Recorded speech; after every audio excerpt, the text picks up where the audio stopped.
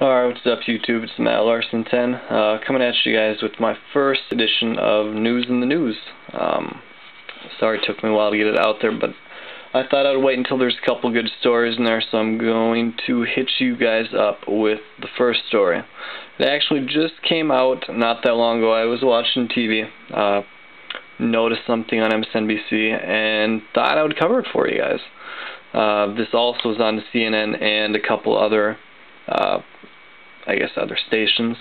Uh, basically, Latoya Jackson is claiming that Michael Jackson, her brother, just died. If you guys haven't heard about that yet, uh, you must be living under a rock or something. But uh, she's claiming that her brother was murdered by a group of conspirators trying to get a hold of his fortune. Um, she also states that she knows who is responsible for her brother's death and is determined to see them brought to justice. Um, she also claims later in the interview that she was paid for one of her interviews that she gave to a British uh, newspaper, I believe.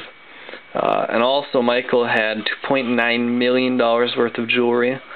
Million. $2.9 million worth of jewelry. That is a shit ton of jewelry, I suppose. When when you're the Princess Pop, though, it probably doesn't take much. Uh, but anyway, that's just one.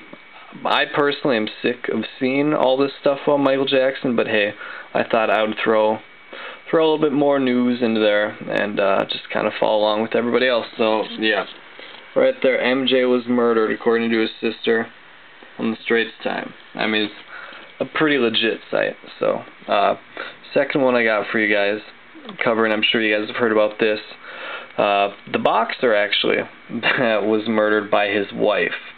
Uh, not really sure how good of a boxer he is. I mean, if his wife murdered him, but just kidding.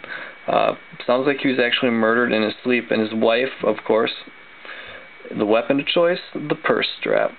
So, uh, what the hell is going on with women in this world lately? I mean, first Princess Michael dies, and now the wife kills the husband. I mean, it's it's kind of getting sickening.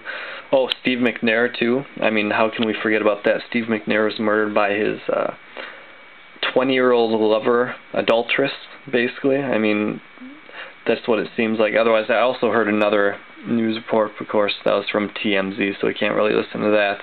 Uh, talking about how potentially the wife killed both of them, then put the gun underneath the girl. But I, I don't know. I don't really believe that very much. But uh, and then just some fun. Hold on, let me find it again. There's one other fun thing. Oh, Prince Fielder won the home run derby tonight.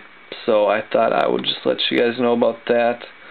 Uh, my boy just or uh, Joe Mauer unfortunately didn't make it past the first round. Of course, when he got to go against Albert friggin' poor Pujols and uh, all those other big guys, it's not bad for his debut. So Blake, you can suck it. I didn't see anybody from the Mets on there, so uh, talking shit to one of my uh, other buddies on YouTube. You should check out his page. It's Blake316. I'm sure you guys have heard of him. He's basically he's basically something kind of big. So, anyways, first edition of News in the News. Uh, don't forget to rate, comment, and subscribe.